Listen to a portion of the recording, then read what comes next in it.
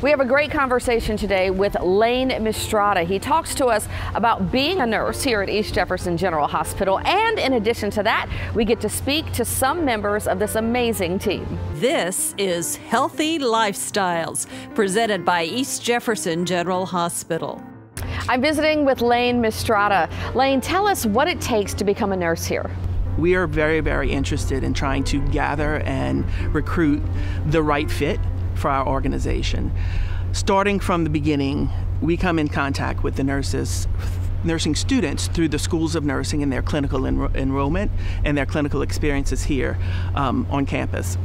We introduce ourselves as the leaders. We make sure that they have a great clinical experience with us. The environment to which they practice in is suitable for them to learn, um, and introductions to the to the team that they're working with. It's it's great. Lane, tell us a little bit about the nurses we're about to meet. I'm excited for you to listen and hear about their journey. It really is very rewarding to come to work every day and, you know, just to make those bonds with your patients. It's got its challenges for sure, but at the end of the day, I get to feel good about what I do. And I, I really do feel like I get to make a difference every day when I come into work. And people feel good when they help one another.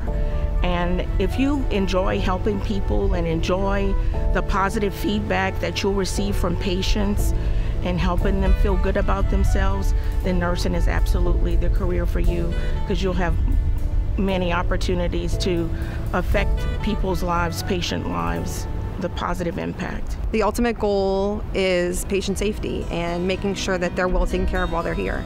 So there you have it. If you're looking for an amazing career at East Jefferson General Hospital, we made it very easy for you. Just go to our website, ejgh.org, under careers. I'm Camille Whitworth. Thanks for watching.